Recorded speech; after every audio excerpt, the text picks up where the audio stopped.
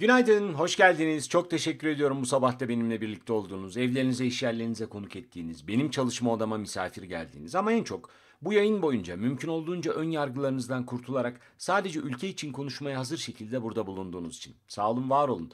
Dünyanın neresinden katılıyorsanız bu yayına ve bulunduğunuz yerde insanlar birbirlerine hangi dilden günaydın diyorlarsa o dilden günaydın dediğimi varsayın lütfen. Rojbaş, Pariluis, Good morning, Guten Morgen, Bonjour, Buongiorno, Dobre utro, Dzień dobre, Yoregel, Tuomenta, Selamun aleyküm, Kalimera, Sabah el hayır, Boreda, Habari, Dilam Şvidobisa ne diyorsanız günaydın. Bugün haklı ve meşru sorularımızı konuşacağız. Gerekçesini açıklayacağım ama önce şu aşağıdaki 3 noktaya bir dokunur musunuz Periskop izleyicileri? Yayını paylaş tuşunu tıklayın. Nerede paylaşmak istediğinize karar verin ve yayınla deyin ki diğer dostlar da gelsin. Nereden çıktı haklı ve meşru sorular? Şuradan. Şimdi burada 3 senedir bir şey anlatmaya çalışıyorum. Diyorum ki insanlara ya kardeşim bizim başımıza ne geliyorsa kendimizi doğru anlamda savunamadığımız, savunma hakkımızdan çok çabuk vazgeçtiğimiz için geliyor. Biz bir şeylerin karşısında kimi zaman kibarlıktan, kimi zaman öğrenilmiş çaresizlikten, kimi zaman öğretilmiş bir şekilde bir şekilde öğretilmiş nezaket kurallarından falan abuk sabuk şeylerden sesimizi çıkartmıyoruz. Yani aman insanlar kırılmasın, etmesin, öyle olmasın, böyle tutmasın falan diyor. Fakat biz bunu yaptıkça bir takım insanlar hayır sadece tepemize çıkma anlamında değil. Biz meşru gücümüzü kaybediyoruz aslında. Yani bir konu üzerinde uzlaşma olmasın ama tartışma yaratılabilecek zemini kaybetmeye başlıyoruz. Bugün sabah Dün annesini kaybettiği için yazı yazmamıştı biliyorsunuz. Abdülkadir Selvi Allah rahmet eylesin. Bugün Hürriyet gazetesinde köşesini yazmış ve köşesinde Brunson olayını anlatırken çok acayip bir ifade kullanmış. Tam burada 3 senedir anlattığım hikaye. Hani yayına başlarken demiştim ya kardeşim benim size verebilecek birkaç tane sözüm var. Hani çay var içersen, ayran var yutarsan falan öyle değil. Bir, ya burada kimin haklı olduğuna bakmayacağız. Haklı olup olmamaya bakacağız sadece. Kişiler, gruplar, kurumlar bunlar hep dışında kalacak. İki, derimizin sertleşmesine izin vermeyeceğiz. Yani al bakalım ben sana bir tane çakayım, sen biraz alttan al sonra sen de girersin topa yok öyle bir şey. Kimden geldiğine bakmadan hakkı savunmaktır önemli olan. Şu ana kadar da yapabildiğimizi düşünüyorum. Bakın Abdülkadir Selvi diyor ki, hani Brunson olayını anlatıyor. Şu olur, bu olur, bilmem ne. Madem Brunson'ı bırakacaktık, bu krizi neden yaşadık diye sorulacak. Öyle ya, tesadüfe bak ki sorduk. Hatta cumadan ben pazartesi sabah soracağım bunu diye kapattım yayını. Bu haklı ve meşru bir soru. Elbette ki bir hasar tespiti yapılacak. Bundan dersler çıkartılacak. Ancak önümüze bakmalıyız. E iyiydik oturuyorduk soru soruyorduk tam. Haklı ve meşru sorularımız gelmişti. Şuraya bir yere yapsaydık. Haklı ve meşru sorularımızı daha sonra kumla kapatsaydık mesela. Başkalarını rahatsız etmesin diye. Bu sorulabilir. Tamam ama önümüze bakalım. Bakın bizim yaşadığımız bütün melanet bundan kaynaklanıyor işte. Bu bakıştan kaynaklanıyor. Haklı ve meşru sorular. Neden biliyor musunuz? Amerika Birleşik Devletleri ile ilişkiyi tarif ediyor Abdülkadir Selvi. Bundan sonra ne olur ne biter? Ahmet Hakan'a sorarsanız mesela Hakan Atilla'nın bir uçakla Türkiye'ye yollanması an meselesi. Biz de diyor mesela bir göreceğiz diyor. Bir uçak inecek. Kapı bir açılacak. Hakan Atilla. Bando yollayalım. Hatta bandonun tambur majörü de sen ol. Gerçekten. Çünkü tam da bunu yaparsan Hakan Atilla'nın ve onunla birlikte Halk Bankası'nın böyle bir işlem yapmakla suçlu olup olmadığının tartışılması ihtimalini kaybetmiş olacağız biz. Hop verdik birini aldık birini. Tam bu bakış işte. Ama bu sakat. Niye biliyor musunuz? Bu yazının sonunda anlatılıyor, anlatılıyor ve deniliyor ki ABD ile yaşanan ekonomik ve siyasi kriz bize Avrupa Birliği ile ilişkilerin nedenli önemli olduğunu gösterdi. Yargı reformu stratejisi ve gümrük birliğinin yenilenmesiyle AB ile ilişkilerimizin yeni bir ivme kazanması hedefleniyor. Dikkat! Osman Kavala olayında atılacak bir adımsa çarpan etkisi yapar. Hoppala! Bir duralım şimdi burada ya. Şimdi burada haklı ve meşru soruları sormaya başlayalım. Çünkü biz haklı ve meşru sorularımızdan geri adım attıkça böyle abuk sabuk cümleler gelecek ardından. Bu yeni bir şey değil ki. Biz 3 sene boyunca burada en azından 3 senedir ben soruyorum. Ya kardeşim Bakanlar Kurulu'nun rutin gündem maddesini yaptınız. Dediniz ki Avrupa Birliği ile ilişkileri değerlendireceğiz. Eyvallah. 3 senedir unuttunuz. Yapmıyorsunuz artık. Niye? Bu soru sorulduğunda hep beraber vatan hainliğiyle suçlanıyoruz. Ne yani sen Almanlarla, Hollandalılarla iş tutmak mı istiyorsun? Evet. Sen de istiyorsun. Tamam ama şimdi yeri değil. Daha dün ve yine tesadüfen hep böyle güzel ahlak, dini bilgiler, antin kuntin toplantılarında oluyor böyle şeyler. Evet bir takım soytarılar işte bizim hocalarımız gerçekten elini taşın altına koymadıysa, inisiyatif almadıysa ekran sazlı danslı, bakın sazlı danslı programlar yapan ya da insanları bir takım e, hurafelerle avutan soytarılara kalıyor. E iyi de ben soytarı diye adamı 15 senedir söylüyorum. Sen söylemiyorsun. Benim 15 senedir uğradığım zulüm ne olacak? Bu haklı ve meşru bir soru değil mi kardeşim? Aynen öyle. Şimdi bir şeyi hani hep söylüyorum ya burada. Ya kardeşim benim senin anlayabilmen için geçirecek 8 ayım, 10 ayım, 10 yılım, 16 yılım yok bir daha ya. Ya sen anlamıyorsun görüldü işte. Anlamıyorsun. O zaman yapamadığını kabul et. Haklı ve meşru soru deyip bir şeyi, bir düşünceyi bir yerde durdurmanın manası yok ki. Çünkü bu soruları ben size katlayarak açarım. Gizli tanık. Biz burada 3 senedir konuşuyoruz. Sevgili İlhan'ın, İlhan Taşçı'nın kitabı. Her seferinde anlatıyorum. Bir izleyici dün şey diye mail atmış. Birader komisyon mu alıyorsun? Keşke komisyon alsam. Keşke o kitaptan komisyon alsam ve onu götürüp bir yere bağışlayabilsem ya. Keşke insanların hepsi okusa. Şu yaşanan aşağılık soytarılığın ne olduğunu görse insanlar. Ve bunun yeni bir şey olmadığını anlasa. E onu söylüyorsun. O zaman da diyor ki bir dakika devletin âli menfaatleri içinde gizli tanıklık müessesesi var. E sen daha dün aşağıladın. Bugün Sedat Ergin yazmış mesela uzun uzun. Hep bugün verdiğim örnekler hani e, CNN Türk'ün sabah programları var ya anlattım size. Mehmet Soysal diyor ki köşesi. Niye? Medya Grup Başkanımız hocam aman sakata gelmeyelim. Öyle değil. Ama bugün yayının çatısını dün gece benim kurduğum noktaya çok böyle hizmet eden yazılar çıkmış. Sedat Ergin bugün diyor ki ya bu gizli tanık nereden çıktı birader? Ha tesadüf bu arada. Gizli tanığın isminin ne olduğunu, tabii ki o bir hani mahlas. Adının ne olduğunu bilen var mı içinizde? Gizli tanık. Brunson davasındaki. Ne adı? Dua. Tesadüfe bak. Allah Allah. Hep böyle bir dini kisve giydirilerek devam ettiriliyor hikaye. Etti mi sana üç tane haklı ve meşru soru? Bu herif nereden çıktı? Devam edelim. Osman Kavala ile ilgili olarak bu insanın yaşadığı zulüm bir sivil toplum örgütünün lideri olarak bakın altını tekrar çiziyorum. Bir sivil toplum önderi olarak, bir lider olarak Osman Kavala'nın yaşadığı zulmün sonunda da aynı şey sorulmayacak mı? Yani demin Abdülkadir Selvi'nin burada okuduğum sorusu. Madem Brunson'ı bırakacaktık, bu krizi neden yaşadık? Madem Osman Kavala'yı bırakacaktın, neden adama bir senedir zulmediyorsun? Soru bu değil mi? Bu haklı ve meşru bir soru değil mi? Öyle değil mi? Bakın İstanbul'da Suudi Arabistan Başkonsolosluğu'nda bir operasyon inceleme devam ediyor. Tamam mı? Bir inceleme sürüyor orada. Ve incelemenin içinde farklı başlıklar giriyor. İşte mavi ışık kullanan ekipler girdi. Adli tıp uzmanları orada. Bilmem ne CSI'cılar geldi. Amerika dedi ki müfettiş yolladı. Yollayalım. Biz dedik ki hayır ne yapalım lan senin müfettişini falan. Fakat dün akşam CNN International cart diye bir son dakika bandı attı. Ve dedi ki Suudiler bir rapor hazırlıyor. Tabii tabii o ağam araba fıkrası işte hiç, hiç değişmiyor bizim ülkemizde. Dedik CNN International. Suudiler bir rapor hazırlamaya başladı. Bu raporda bahsi geçen Cemal Kaşıkçı'nın konsolosluk binasında sorguya alındığı, sorgu sırasında kastı aşan eylem sonucunda öldüğüne ve bu ölümü kabul ettiğine dair bir rapor düzenliyor. Yani hocam oğlan geldi de elimizden kaydı. Bizim çocuklar onu öldürmüş. Bu, bu öküz, bu öküz öldürmüş çocuğu ya. Çok kabaca bu çıkacak sonuç diyor CNN International. Yanlışlıkla sehven diyor elinden kaymış ölmüş. Ha, soru şu ben Bilge yazmış. Ceset nerede hocam? İki, cesedi niye yok ettin hocam? Hı? Niye yok ettin ya? Şimdi bugün olayın ardından pek çok gazetede köşe yazılarında göreceksiniz. Olayın ardından şöyle bir gazlama başladı. Deniyor ki Hani 15 kişiyi getiren iki tane jet vardı ya Suudi Arabistan. Adli Tıp e, Kurumu'nun başkanı ile birlikte bir sürü şey. Bir sürü adam. Ya onların bir kısmı, bir kısmı kardeşim saç ektirmeye gelmiş Suudi vatandaşları. Ne? Saç ektirmeye.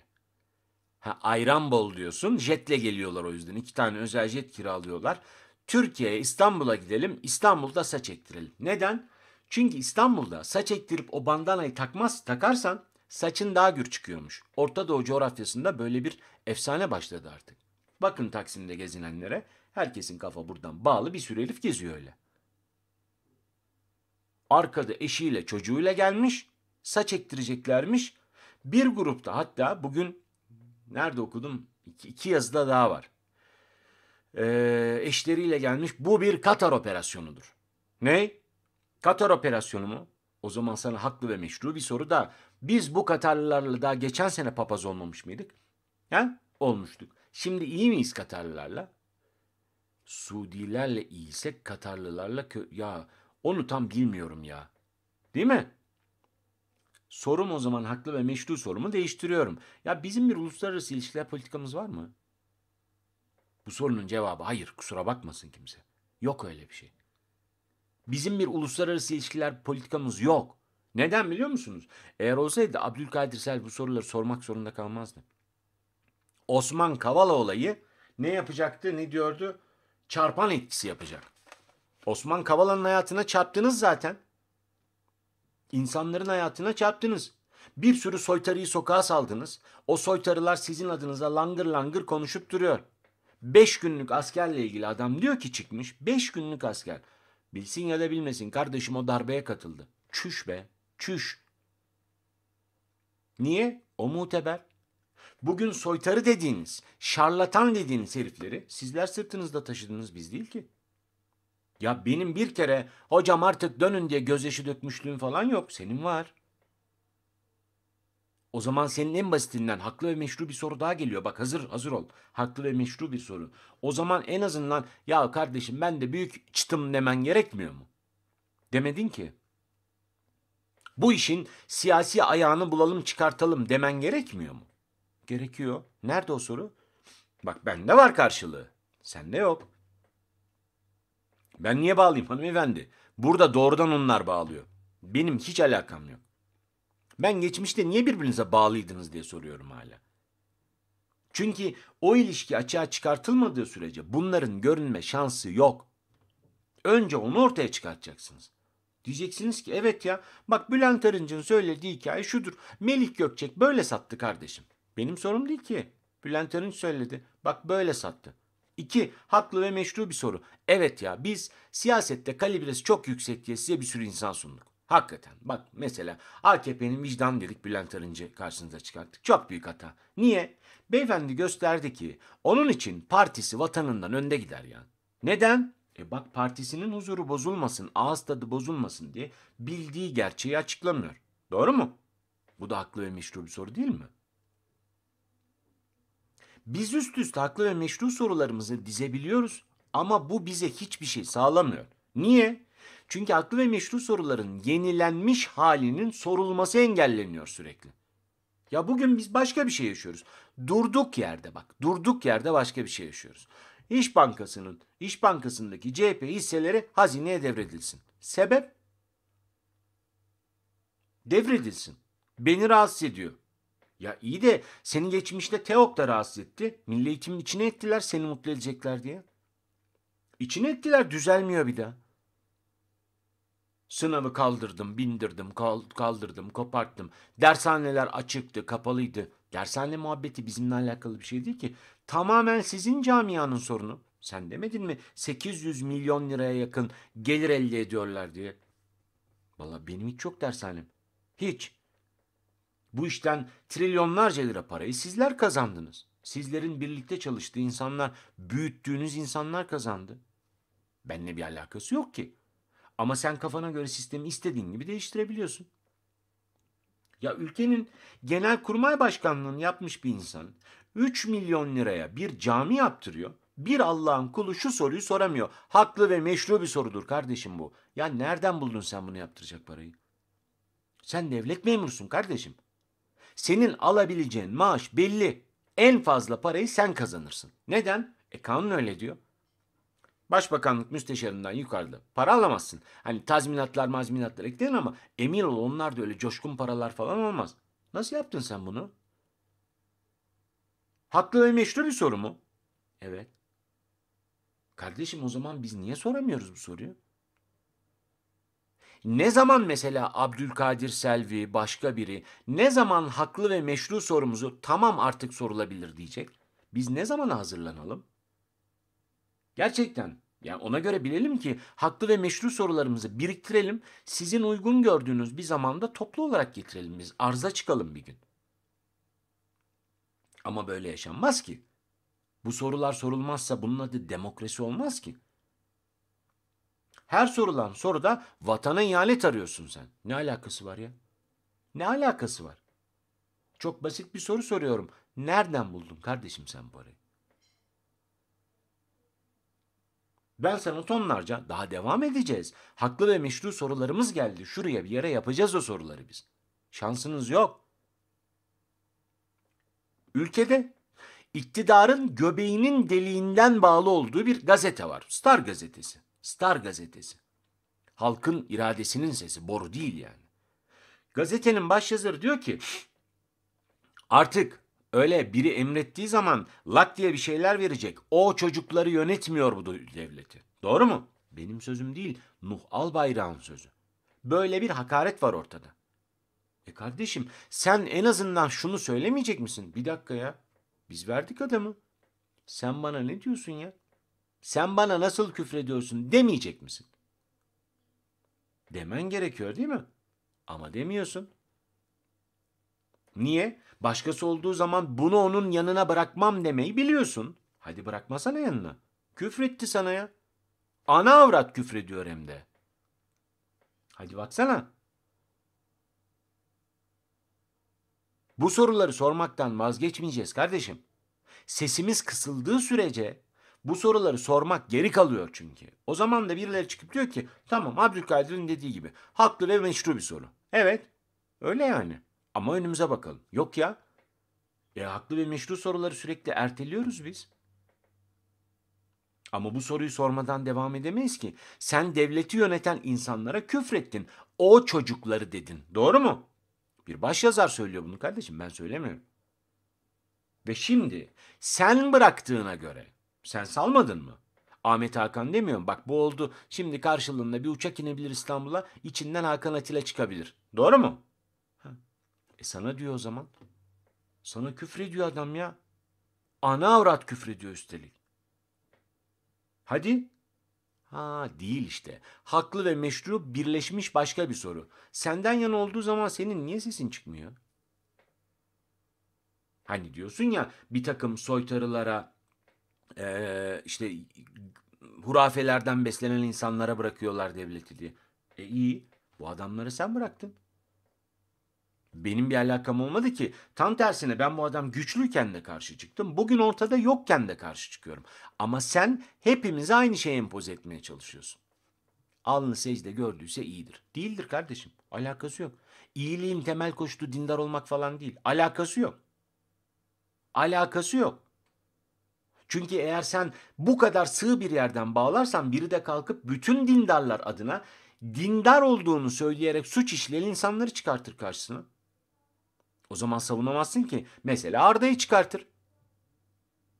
Kabe'den takkeli fotoğraf paylaşan herif gece zil zurna sarhoşken sağa sola ateş açıyor. Hadi biri derse ki dindarların tamamı böyle ne diyeceksin? Söyleyebilecek misin?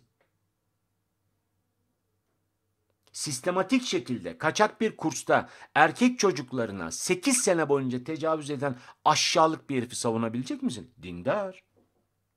Öyle değil mi? Öyle kardeşim. Demek ki dindarlık iyilik ya da kötülük koşulu olamaz. Onu geçeceksin. O zaman niye tutuyorsun kardeşim? Niye ben senin dediğini savunmak zorundayım? İyiliğin ön koşulu değil ki dindarlık. Bana ne senin dindarlığından? Beni hiç ilgilendirmiyor. Haklı ve meşru bir soru değil mi bu? Biz haklı ve meşru sorularımızı biriktirip sormak zorundayız. Ama her yerde, her düzlemde sormak zorundayız. Çünkü eğer bunlar sorulmayacak olursa bir takım insanlar haklı ve meşru soruları limitleyecek. Ben sorduğum zaman olacak. Ne zaman? Bakalım işte yani gönlümden ne zaman geçerse. Haklı ve meşru sorum geldi. Sahi ya Osman Kavala'yı niye bırakmıyorsunuz? Çarpan etkisi yapar. Çarpan etkisi mi yapar? Ya adamla ilgili şu ana kadar biz temel gerçeği konuşamadık ki. Bugün yine Sedat Ergin köşesinde yazarken hani böyle çok analitik bir çözümleme yapmış her zaman olduğu gibi. Diyor ki ya işin unutulan bir bölümü var kardeşim. Çok ciddi unutulan bir bölüm var. Rahip Branson'ın ilk gözaltına alındığında, eşiyle birlikte sorguya götürüldüğünde sadece söylenen şuydu kendisine. Kardeşim seni sınır dışı edeceğiz biz. Çünkü buradaki faaliyetlerin uygun bulunmadı. Ama bir anda o büroya bir telefon geldi. Eşini serbest bıraktılar ve onu orada tutmaya başladılar. Neden? Şimdi Sedat Ergin hani cesaretle bir yere kadar gitmiyor. Bir yerde ket, ket vuruyor, durduruyor zaten. Mutlaka durduruyor. Ama şu soruyu sormamızı istiyor. Oraya kadar gelince. Bir dakika ya kim aradı? Kim aradı o gün orayı? Aramak bulmak zor mu? Yo. Sana haklı ve meşru bir soru da. Niye devam eden bir davanın seyrini, üstelik bu kadar dandik bir durumdayken biz bu adamı hani diyor ya çok böyle İngilizce anlamış gibi deport etsinler. Biz bu adamı deport edecektik. Kim elledi? Hı? Bak sana haklı ve meşru bir soru da. Burada asıl olan hikaye soruyu sormak için cesaretin sahibi olmak başka. Ama burada soruyu sorabilecek zemini sadece birileri istiyor diye var ya da yok diye değerlendirmek. E sen bunu istiyorsun. Sen istediğin zaman soralım. Hatırlıyor musunuz? Burada yazın başında bir yayın yaptım ben. Tam böyle tatile çıkmadan hemen önce yaptığım yayınlardan bir tanesi. Ve dedim ki Türkiye'nin tam cümlede bu. Avrupa Birliği ipine sarılmak dışında başka çaresi kalmadı. Hepimiz açısından geçerli üstelik bu hatırlıyor musunuz? Neden? Ne konuştuk biz orada? Ya bizim uzaklaştığımız şeyler temel insani değerler. Temel demokratik değerler. Ve bunu bize sunan artık Avrupa Birliği dışında bir batı olamaz. Neden? Batı diye adlandırdığın diğer batı diye adlandırdığın şey Amerika Birleşik Devletleri değil mi? Kabaca onu söylemiyor musun? Evet. E, Amerika Birleşik Devletleri'nin göreve gelen başkanı düz faşist. Düz ırkçı faşist. O zaman bizim çıkışımız yok. Biz Avrupa Birliği ipine sarılacağız. Ama o gün bunu söylediğimizde küfredenler, hakaret edenler ne diyordu? Bir dakika. 16 insan referandum sırasında bize yaptıkları zulmü unutmadık. Avrupa'da bilmem kimlere kucak açtı. Avrupa bizim dostluğumuzu istemiyor. Şimdi Şimdi Abdülkadir Selvi diyor ki Türkiye'nin Avrupa Birliği dışında çıkışı kalmadı. Peki biz ne kadar bekleyeceğiz sizin bir şey anlamanızı? Acaba şöyle mi yapsak? Haklı ve meşru soruların kimden geldiğine bakmadan bir dakika ya bu adam, bu kadın, bu insan bir şey söylüyor galiba. Bir dinleyelim demek. Mümkün mü? Vallahi çok doğru söylüyorum size. Çok içten söylüyorum. Değil. Niye biliyor musunuz? Öncelikle her şeyden çok şu anda Adalet ve Kalkınma Partisi iktidarının ve Erdoğan'ın çok ciddi bir sıkıntısı var. Bir kere dünkü söyleminde de tekrar duydunuz bu Fethullah'la mücadelenin bitmediğini biliyorlar. Yani kendi söyleyişleriyle o düşmanların temizlenmediğinden eminler. Bu bir. İkincisi bu mücadeleyi yürütecek kaynaklarda bizatihi FETÖ'cülerin varlığından da eminler. Neden? E yerleşme düzenlerini biliyorlar. Üç, böyle olduğu zaman da atılacak adımlara bir yerde bir ket vurulacağı, önlerinin mutlaka kesileceği zaten anlaşılıyor. İyi de bizim hayatımız ne olacak bu arada? Biz ne yaşayacağız pardon? Siz kendi aranızda mücadele edeceksiniz. O ona bağıracak. Bu buna hakaret edecek. Öbürü onu tutuklatacak. Bu buradan bunu salı verecek. Öbür taraftan paket beklenecek. Biz oysa bunun çıkışı çok basit. Demokrasiye koşulsuz inanmak, ikna olmak. Bunun üzerine çalışmak. Bunun üzerinden gitmek. Biz şu anda bunu yapmıyoruz ki. Birilerinin haklı ve meşru sorularını sorması için zaman bekliyoruz biz. Niye? Abdülkadir Selvi'nin sorduğu haklı ve meşru soruyu biz kaç yıldır soruyoruz burada? Neden soruyu soranın kimliğine bakılıyor kardeşim? Bu yayını izleyen mütedeyyin insanlar var. Bak hala aynı yerde. Bir türlü anlayamıyorum nasıl FETÖ'ye bağlıyorsunuz. Ben bağlamıyorum hanımefendi. Gerçekten anlatamıyor muyum size? Ben bağlamıyorum. Erdoğan'ın dünkü konuşmasını izleyin. Hala bittiklerini söyleyemem. Benim sorunum değil bu. Onları işe alan ben değilim ki. Devlete yerleştiren de ben değilim. Bana ne? Bittiğine bitmediğine en iyi siz karar verirsiniz. Çünkü biliyorsunuz. Çünkü o insanları alıp siz yerleştirdiniz devletin içine. Açıkça da söylüyorsunuz. Bizim zamanımızda büyüdüğü de doğrudur. Ama ben sürekli olarak şunu anlatıyorum. Ya sorulan haklı ve meşru soruları hepsini ortak bir zeminde paylaşamayacaksak bunun bir manası yok ki. Yayın ikinci bölümünde göreceksiniz. Bugün iktidar gazetelerinin tamamı aynı yerden yüklenmiş. Hazine ve Maliye Bakanı Berat Albayrak'ın sözleri. Süper. En kötü bölümü geride bıraktık. Ya hayır kardeşim doğru değil bu söz. Doğru değil. Mücadele doğru yapılmıyor. Ya bugün ayın 16'sı. Yarın yasa gereği, yasa gereği, anayasa gereği 2019 bütçesinin meclise sunulması gerekiyor. Tamam. Şimdi biz bütçeye ilişkin ne biliyoruz? Yani Diyanet'in 2 milyar lira daha ödenek verilmiş, tanınmış. Ee, saraya bayağı ciddi bir para aktarılmış. Onun dışında işte Diyanet bütçesi Sanayi Bakanlığı bütçesini, Enerji Bakanlığı bütçesini falan geçmiş. E gerçekleşme? Ha onu da şöyle biliyoruz. Yani e, 60 milyar lira, 6 milyarlık açık var. Sonra piyasa bunu beklemiyor ki sadece. Biz yarın bütçenin sunulduğunu gördük diyelim. Önümüzdeki hafta Merkez Bankası'nın yapacağı para politikası kurulu var. Oradan mesela bir faiz artışı kararı çıkacağını düşünen var mı içinizde? Hiç öyle düşünmeyin kardeşim. Hiç öyle düşünmeyin. Çünkü şöyle bir kazlık hala devam ediyor. Tamam ya biz toparladık bu işi. Bundan sonra bizim eski model öyle yürüyelim. Nasıl? Faizi maizi kısarız yine. Tamam. İç tüketime yükleniriz. Pardon iç tüketime hangi parayla yükleneceksiniz? Nasıl yani? Kardeşim sen şimdi faiz yükselterek insanların parasını bankalara çekmedin mi? Yatırıma yönlendirmedin mi? Evet. Bir yandan da dedin ki yastık altındakileri patlat sulayı bana getir. Doğru mu? Getiren oldu mu? Hayır. Zaten getirmeyecek. Çok normal. Öbür taraftan üretimin kısılmış durumda. Kredi borçları geri dönüp duruyor. Sen hangi parayla tüketimi güçlendireceksin? Kim alacak ki bunları? O bahsettiğin temel gıda ürünleri. Onu ölmemek için alacak insanlar. Ama onun dışında bu ülkede beyaz eşya üretenler, kitap basanlar, sinema endüstrisine hizmet verenler. Bunları geçtim. Bunlar artık acayip yerlerde. Onları kimse düşünmeyecek zaten. Boş ver ya kardeşim. Oraya kadar gelmez mevzu. Ülkenin çarklarının dönmesi gerekiyor. Nasıl dönecek? Türkiye çok ciddi bir yol ayrımına gelecek. Bir tarafta büyüme de büyüme ben bunu bilir bunu söylerim diyen Erdoğan öbür tarafta büyümeyi kısarak mutlaka ve mutlaka ekonominin çarkının döndürülmesi hikayesi. Şimdi ekonomiden anlayan herkes şunu diyecektir. Ya kardeşim ne büyümesi ya? Sen önce çarkı döndür.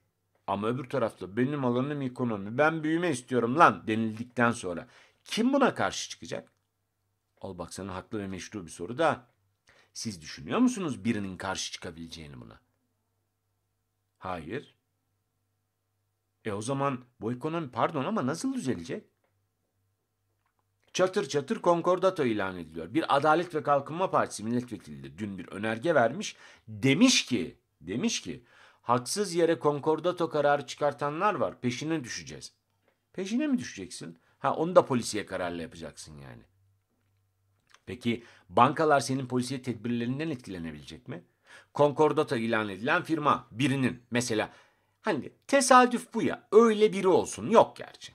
Hani böyle koşarken saçlar vaklı tamam dışa doğru vaklı kalıp gibi duruyor. Gözler kirpikler falan o koşarken diz kapakları içe ayakları dışa doğru atılan bir e, hanımefendi sahnelerimizin hanımefendi sanatçılarından birini düşünelim.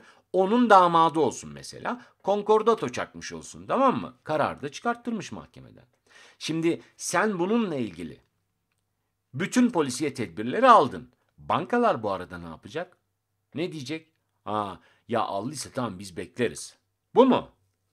Ekonominin çarkı öyle dönmüyor tatlım. Öyle olmuyor. Bankalar para satarak, güven içinde para satarak para kazanıyor. Bunu bir kısmını mudilerinden mevduat olarak topluyor. Sonra onlara faiz ödemesi yapmak zorunda ki o para orada dursun. Ama aradaki farktan kazandığı o kar marjını da aynı zamanda etkin kullanabilmeli ki para limitini büyütebilsin. Bankacılık sistemi dediğin bu. Çark nasıl dönecek? Ez cümle. Bizim haklı ve meşru sorularımızı sıkça yüksek sesle ve her yerde dillendirme olasılığımız ve bunu bir artık inanç şeklinde dile getirmemiz aslında bu işten çıkış yolumuz olacak bizim. Şu karamsarlığa hiç gerek yok. Biz bu soruları soruyoruz ama kimse cevap vermiyor. Ya kardeşim nerede soruyorsun sen bu soruyu? Bir anlatsana. Nerede soruyorsun? Üç arkadaş bir araya gelip kafa güzelleştiğinde değil mi? Çok boktan ya her şey çok bok. Onu söyleme. O çünkü o masada kalacak. Ve masada üç kişiyseniz ikisi ertesi gün hatırlamayacak zaten onu. Ama sen bunu her yerde sormak zorundasın. Hani birileri sana bir şey söylediği zaman ya şimdi gerek yok kardeşim ama falan diyorsun ya. Gerek var. Gerek var. Tam da orada söyleyeceksin işte. Bir dakika ya ne saçmalıyorsun sen diyerek. Kavga mı çıkacak? Çıksın. Çıksın. Bak buraya getirecek çünkü. Hepsinin kusura bakmayın hanımefendi ama bu yaptığınız var ya çok ayıp. Çok büyük bir utanmazlık bu. Ne yapsın insanlar sokaklara mı insin? Derdiniz bu değil mi? Hepinizin temelde getireceğiniz yer burası. İsyana mı teşvik ediyorsun sen? Yo, insanlığa teşvik ediyorum sadece. Korkma diyorum. Korkma kardeşim. Düşünceni söyle. Birilerinin senin kafana oturmasına izin verme. Ama hep getirdiğiniz yer aynı. İnsanlar sokağa mı insin? İnmesin. Gerek yok. İnsanları sokağa indirmeyecek düzen kursun bu ülkeyi yönettiğini iddia eden insanlar. Yapabilir misiniz? Siz talep eder misiniz böyle bir şeyi? Yapamazsınız ki. Niye? E siz korkuyorsunuz her şeyden önce. Söylediğinizin bir çıkışı yok ki. Ha, el ele tutuşup kilometrelerce başörtüsü için kuyruk yapmayı biliyorsunuz. O gün söylediniz mi? İnsanlar sokağa mı insin? İndiniz. İndiniz. Haklı ve meşru bir tedbir değil miydi sizin açınızdan o? Neden siz yaptığınızda oluyor da başkası yaptığında olmuyor? Var mı buna verecek bir cevabınız? Bizimki meşruydu. Şu saate kadar sorduğum sorulardan bir tanesi. Bakın bir tanesi diyorum. Tek bir tanesinin sadece benimle alakalı olduğunu, toplumun sadece bir bölümünü ilgilendirdiğini söyleyebilir misiniz? Hepimizin sorunu bunlar. Birileri kafasına göre atıyor, tutuyor, abuk sabuk konuşuyor. Sana da diyor ki sen sesini çıkartma. Biraz çıkartsan ne yani insanlar sokağa mı çıksın? E sen çıkıyorsun. Sen çıkıyorsun cuma eylemlerine başlayıp cami çıkışlarında her cuma eylem yapıyorsun. Sonra bir cuma diyorsun ki biz insan zinciri oluşturuyoruz el ele. Sen İstanbul'dan Ankara'ya yürüme eylemi yapabiliyorsun. Ana muhalefet partisinin lideri 69 yaşındaki bir adam yola çıktığı zaman diyorsun ki bir dakika o yapamaz. İnsanları sokağa çağırıyor. Hadi oradan be. Hadi oradan. Sana olduğu zaman her şey meşru. Başkası düşündüğü zaman hayır bunlar illegal. Öyle mi? Yok öyle ya ama. Yok öyle ya ama. Aynen öyle işte. Çocuklarının kemiklerini bulabilmek için sokakta direnen insanların üstüne gazla, copla, saldırarak tekme tokat girişiyorsun. Onlarınki hak arama olmuyor ama senin dandik hak araman her zaman önde değil mi? Yok öyle. İşine geldiği zaman da bak ne güzel kavga edin. Siz kavga etmeye mi indiniz hanımefendi başörtüsü eyleminde? Kavga etmek miydi derdiniz? Demek ki öyle. Kavga çıkartmaya mı çalışıyordunuz? Çok ayıp. Demek kavga çıkartmak için binlerce insan sokağa çıktınız ha? Çok ayıp etmişsiniz. Gerçekten. Yoksa şöyle mi demeliyim ben? Ee, yok ya alınları secde görmüş insanlar kavga ile onların işi olmaz. Ya evladının kokusuna 25 senedir hasret insandan bahsediyorum. Onun derdi kavga çıkartmak mı? Ne kadar saçmalıyorsunuz kusura bakmayın ama büyük saçmalıyorsunuz. Haklı ve meşru sorudan vazgeçmeyeceğiz kardeşim. Bu işin çıkışı bu. Bu işin çıkışı korkmadan haklı ve meşru soruyu dillendirmek. Yoksa birileri kendi istediği zaman, kendi istediği zaman bu haklı ve meşru bir sorudur ya diye zort diye ortaya koyar. Ondan sonra tam ya bunu konuşalım dediğinde de artık önümüze bakalım yalnız der. Yok öyle ya ama. Yok. Öyle bir hak arama yok. Hepimizin insan olarak haklarımız var. Hakkın peşinden gitmeyenin hiçbir şeye hakkı yok kardeşim. Hayat hakkın mücadelen kadar hep konuşuyoruz işte burada. Sen ne yapıyorsun? Hakkını savunmak için ne yapıyorsun sen ya? Neyin peşinden gidiyorsun? Yoksa geç. Geç geç geç kardeşim geç. Ama bizim haklı ve meşru sorularımız geldi. Soracağız. Sormak zorundayız. Yoksa birilerinin haklı ve meşru çık- diye çıkarttığı bu sorular soru moru değil ya.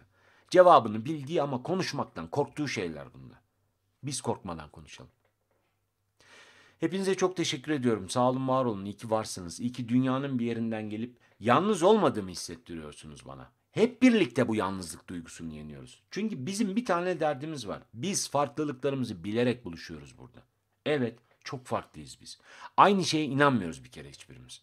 Siyaseten farklı partileri tercih ediyoruz. Farklı liderlere inanıyoruz. Bazılarının siyasetle alakası yok. Hiç oy kullanmışlığı bile yok.